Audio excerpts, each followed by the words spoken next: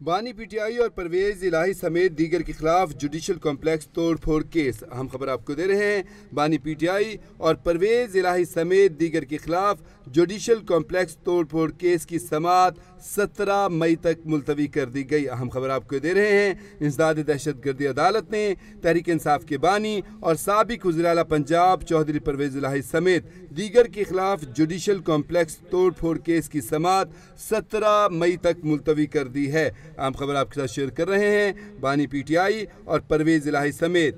دیگر کے خلاف جوڈیشل کمپلیکس توڑ پھوڑ کیس کی سماعت انسداد دہشت گردی عدالت نے سترہ مئی تک ملتوی کر دی ہے۔ اہم خبر آپ کو دیں، بانی پی ٹی آئی اور پرویز الہی سمیت۔ دیگر کے خلاف جوڈیشل کمپلیکس توڑ پھوڑ کیس کی سماعت انسداد دہشت گردی عدالت نے سترہ مئی تک ملتوی کر دی ہے۔ اس حوالے سے مزید اپڈیٹس دیتے ہیں۔ اسلام آباد سے نمائندہ کیپٹل ٹی وی شاہ زیب ملک ہمارے ساتھ لائن پر موجود ہیں۔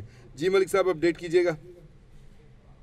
جی بالکل، بانی پی ٹی آئی اور پریز لائی علی نواز امان اور دیگر خلاف جو جوڈیشل کمپلیکس میں طور پر کیس کا معاملہ تھا، اس میں سماعت سترہ مئی تک عدالت نے ملتوی کر دی ہے۔ عدالت نے یہ حکم بھی دیا ہے کہ آئندہ سماعت پر تفصیشی جو ہے جو ہے، وہ اپنی رپورٹ جو ہے، وہ پیش کرے۔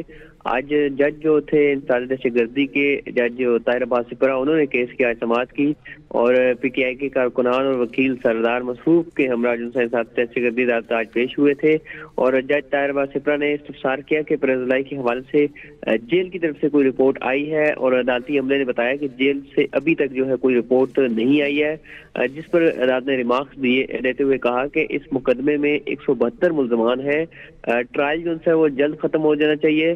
جو ملزمان شروع سے حاضر ہو رہے ہیں، ان کی حد تک عدالت حاضری ختم کر دیتی ہے اور جو حاضر نہیں ہو رہے، ان کا کیس الگ کر دیتے ہیں۔ اور کورٹ نمبر ایک کا جو چارج ہے اس کے کوڈ نمبر ایک کے بعد کہا کہ چارج ہوتا تو اس کیس کا ٹرائل ایک ہفتے میں جو ہے ختم کر دیتے۔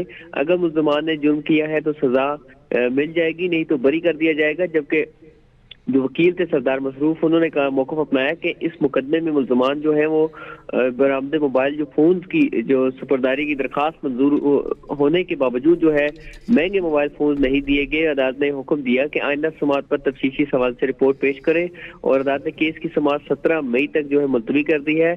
بانی پی ٹی آئی پیروزلائی اور علی نواز امان اور دیگر پی ٹی آئی کی عادت سمیت ایک سو بہتر افراد پر تھانہ سی ٹی ڈی میں جو ہے مقدمہ جو ہے درج کیا گیا تھا۔ جی۔ بہت شکریہ آپ کا شاہ زیب ملک آپ نے ہمیں تفصیلی اپڈیٹ کیا۔